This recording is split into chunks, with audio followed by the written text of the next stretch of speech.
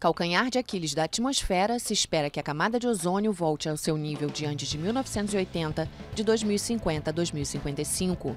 O ozônio é uma molécula composta por três átomos de oxigênio. Tem papel fundamental, pois absorve e previne a maior parte da radiação do Sol de chegar à Terra. Sem ela, não existiriam plantas, animais e até mesmo seres humanos.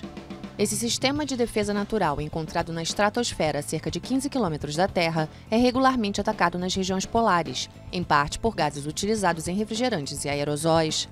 Temperaturas extremamente baixas são a principal causa da destruição do ozônio. O vapor d'água e as moléculas de ácido nítrico se condensam e formam nuvens nas camadas baixas da estratosfera.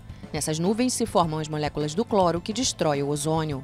Desde os anos 60, o ozônio diminuiu cerca de 70% na Antártica e o buraco na camada de ozônio chegou a 25 milhões de quilômetros quadrados em 2011. Tradicionalmente, a camada diminuiria na primavera até dezembro, mas hoje esse ciclo continua durante o verão do hemisfério sul, em fevereiro. As atividades humanas são ainda a origem de 3 quartos das emissões de gases perigosos para a camada de ozônio.